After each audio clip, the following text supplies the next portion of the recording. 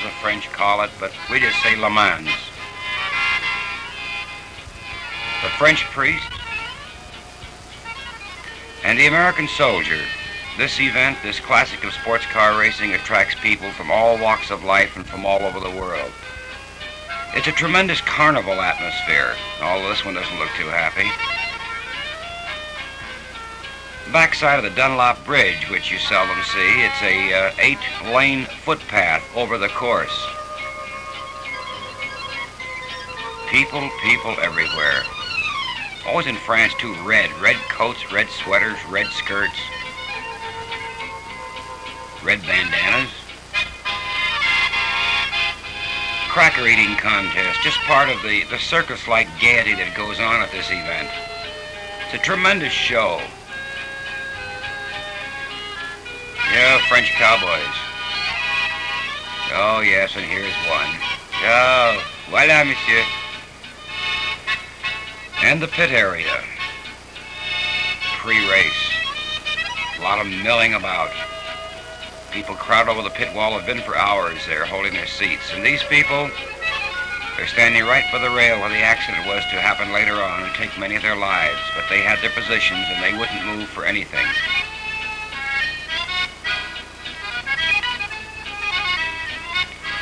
Gordini. Oscar.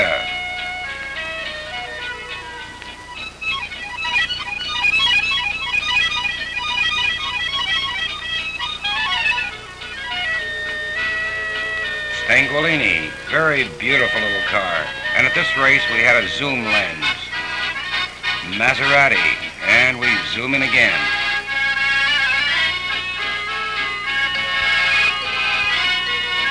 Zanardi, the odd double pontoon arrangement. Ferrari.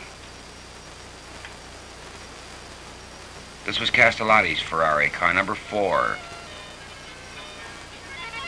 Maglioli's Ferrari, little insignia. Parrot, of course, the Triumph TR2, Frazer Nash. Bristol, Cooper Climax, center steering sports car. Connaught, the MG. Of course, on the MG was Southern California and England's own Ken Miles.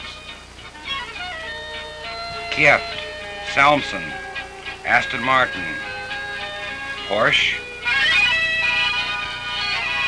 Cunningham with the Meyer Drake engine. In the crowd around the Mercedes pits, you couldn't even get near them. Tremendous crowd. Mercedes mechanics watching the advertising bombs that Esso sends up in the air with the oil cans floating down from under them. British crew milling about, face plates being polished. Rosemary Southworth takes a few pictures. Photographers are getting ready. Another Esso balloon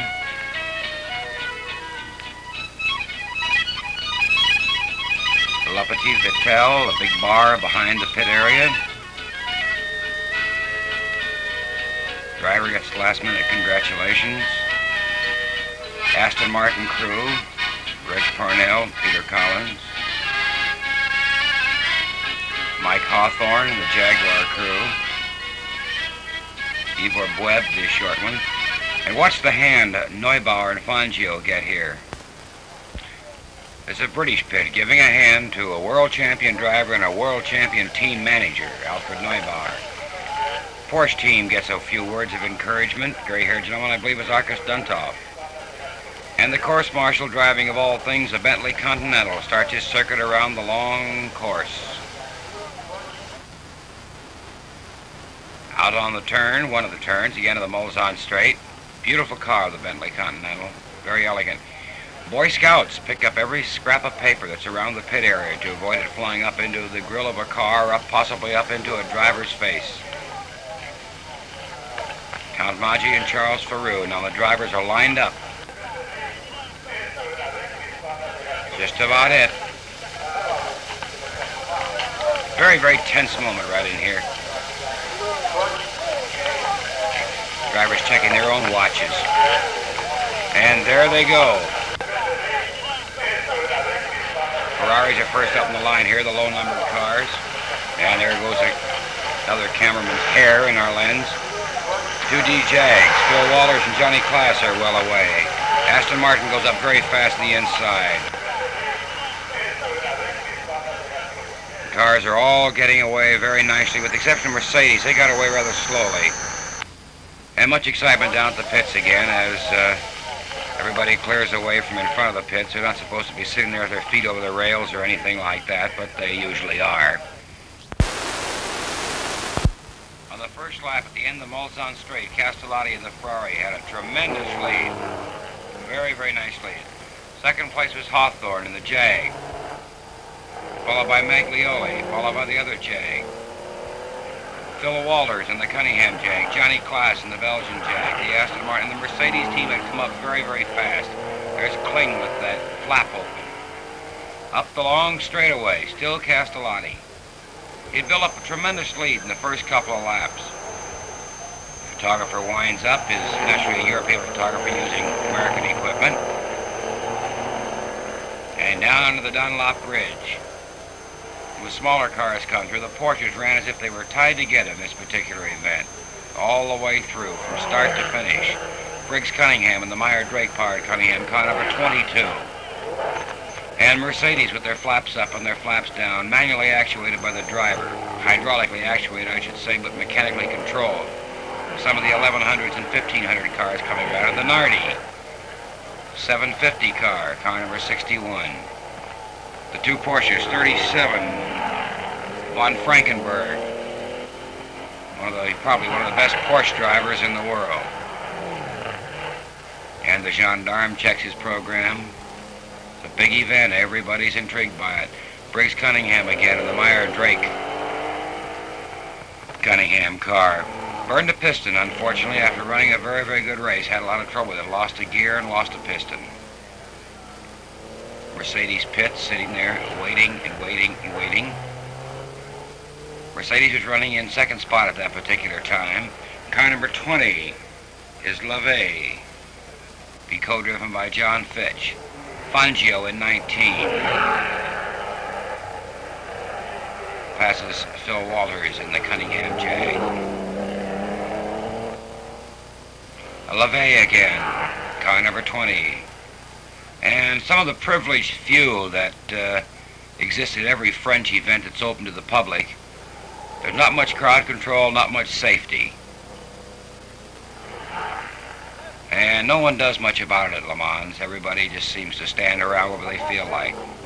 Maurice Rosenthal with his famous cartridge belt, the dean of French racing photographers. And a few more of the privileged few sitting on what uh, would be an escape road right along the edge of the course. Well, the working press, well, you look, here we are. MGs, car number 64.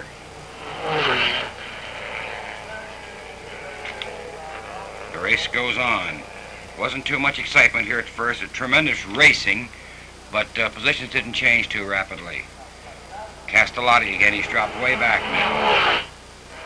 He dropped back to the third spot at the end of the second hour.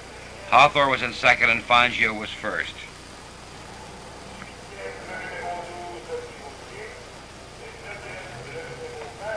Some more of the Bristols with their fine tail fin. And the Nardi spun out. A very unstable car, although, well, there we are. Yellow flag, nobody pays much attention to it. Turns right out in front of it. Very beautifully designed little car with uh, fair, only fair workmanship. It's a little surprising because it was quite radical. You'd think they'd turn out something a little bit better. Of course, while he spun out, the one of the photographers was down there changing film, and they pick a few parts off the circuit. Flagmen are kept pretty busy here at Le Mans. And the three MGs running together, one of the Triumphs, and the Renaults, and Porsche number 49. That's the 1100 Porsche, 1100 Spider. Kling in the Mercedes, and Fangio behind, uh, pardon me, and Levegh behind him. Car number 21, and one of the DBs goes up into the sand. Hawthorn goes on around. The Lotus, car number 48, driven by Chapman and Flockhart, two well-known British drivers. Phil Walters again in the Cunningham Jag, and Fangio again with his flaps coming down. Most interesting impression these flaps made. As a matter of fact, uh, considerably shook up the people at tech inspection. They made them cut another rear window in it so the drivers behind could see through. Levegh again. This is all down in the Mulsanne area. And Fangio goes very, very wide, almost misses a turn. Levegh put his brake up way, way back for the turn, first turn of the Dunlop Bridge, way back compared to uh, Fangio, for example. See, there's Fangio. Check those relative positions, and you'll see that Fangio put his up at the last minute, carried it through the turn, then as he, when he began to accelerate, he put his flap down again. These things did reduce the uh, top speed considerably when they would pop up. Briggs Cunningham again, one of the sole American entries, although Phil Hill was co-driving. One of the Ferraris, Maurice Trintignant, Ferrari number five, co-driving with Harry Schell, another American. Beauman and Davis in the Jaguar, car number eight. Von Frankenberg again in the Porsche. Finished way, way up. And uh, there we are. That was the end of the Nardi. That only ran for just a few laps, only ran, probably for about uh, two and a half hours, and that was the end of it. It's a very fast and very tricky little turn right in through here. And here the race began to shape up again. Fangio was right behind Hawthorn. Now these were on the same lap, although they were running first and second place. And uh, the cars can get pretty confused. There's Hawthorn pulling out the turn, checks it, looks over his shoulder, and finds Fangio's over on the other side of him. Down through the White House turn. Block of Porsches roaring through there. And back up on the straightaway, the endless procession of cars. It's getting a little darker now. Sun has gone down. Mercedes still going around. Flaps going up and down. 6.28 p.m.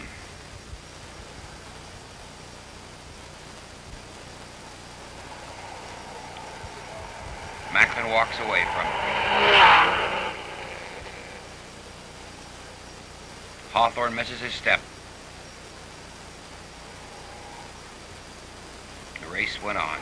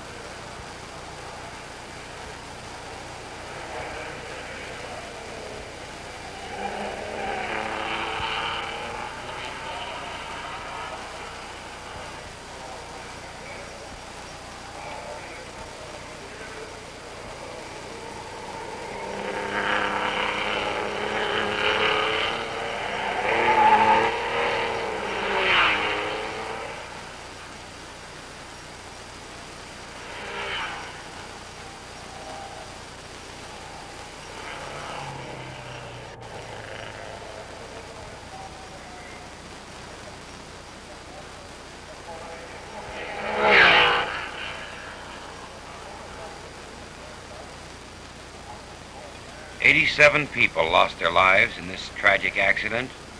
Over 100 were injured. Why did it happen? Been a million opinions volunteered. We won't volunteer ours. It happened. It was a tragedy. And all we can do is take every precaution that it will never happen again.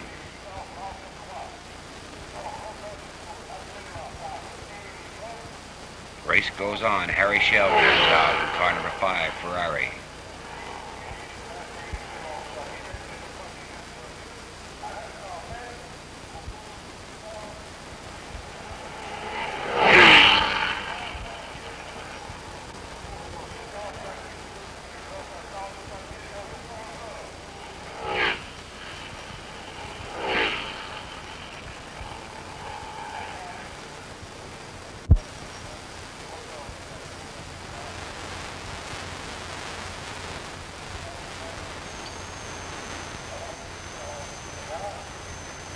Faces of spectators returning from the accident area reflect the tragedy and the horror they saw.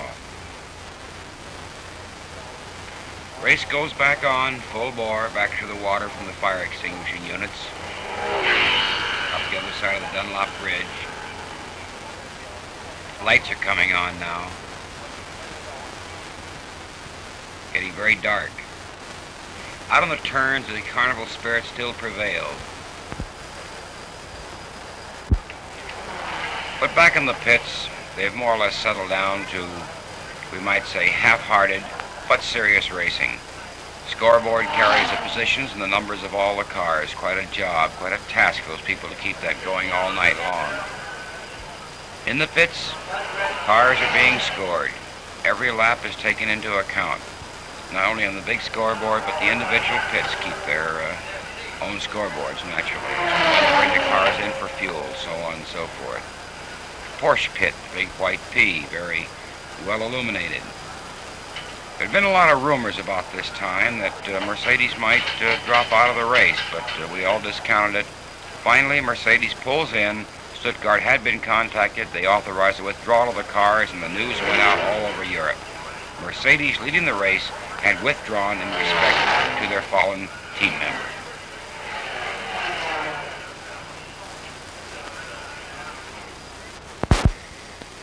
Gray, dreary, and extremely rainy dawn broke at Le Mans. And this is what happens in France. Memories of World War I and World War II. Mud. There was very little happiness, very little cheer left of the spectators at this time. They were more or less standing around because they'd paid their admission. Very funny thing, it even uh, it even caught us. The the whole spirit of the race, as I said before, was gone. Some of the very, very fast competition had withdrawn, of course. Mercedes was giving Jaguar a battle and left the smaller cars, such as that DB. Very fine little car, but just not the spectacle that we have in the larger cars are running. Die-hard British group there supporting Jaguar. Very bedraggled group of spectators. It should have been bedraggled too. It poured and poured and poured all through the early morning hours.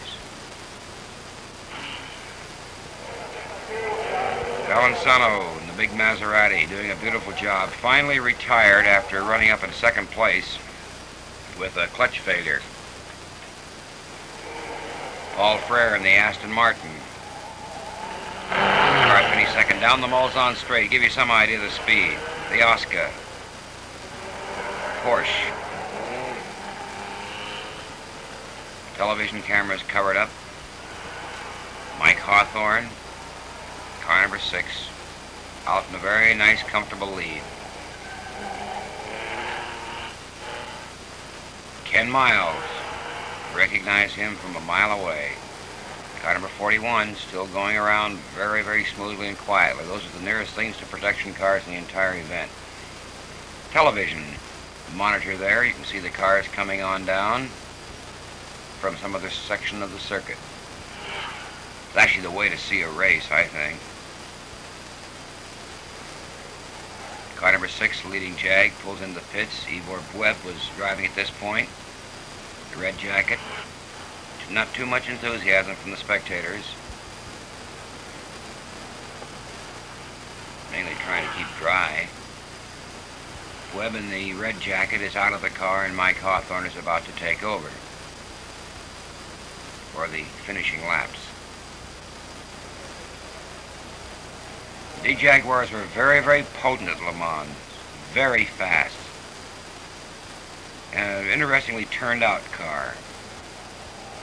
Gendarmes prepared for the finish of the race to keep the crowd off the circuit in their customary manner.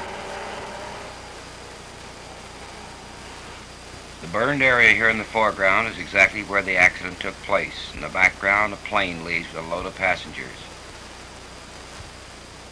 And although a good many people lost their lives there a few hours before, the spectators were crowded back there again. The Oscar, MG, And Mike Hawthorn in the winning Jaguar. Second place, Aston Martin, Paul Frère and Peter Collins. And the three Bristols. The Porsches again. Wonderful job by the Porsche Le Mans.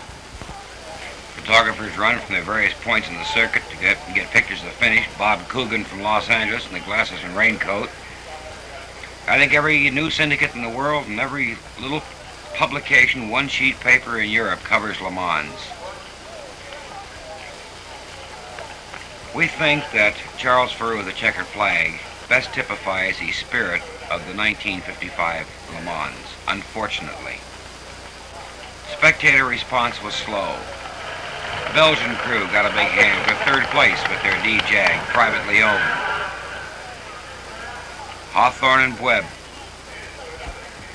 posing for their pictures. Of course, first place car, number six Jaguar, being congratulated, being presented with large bouquets, as is the European custom, by several race officials.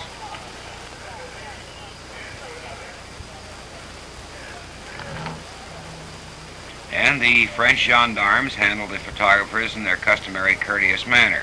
This is part of the charm of covering a French race. This was an interesting one. He wasn't doing anything, but he had to come down. Gendebien, Belgian driver, co-driver with uh, Seidel in the Porsche. Congratulates Polensky, co-driver with von Frankenberg. Von Frankenberg in the glasses finished fourth overall in the Porsche. Porsches finished fourth, fifth, and sixth. Johnny Claes on the left, in the center Jacques Swaters of the Belgian team, third place winners. Paul Frère, another Belgian driver, co-driver of the second place car, Aston Martin with Peter Collins. And still more autographs, more signatures. Heroes for today. In spite of the rain, the crowd remained around to watch the post-race festivities. Bristols with their tails sticking up in the air, and the final inspection of the parts carried by the cars during the race.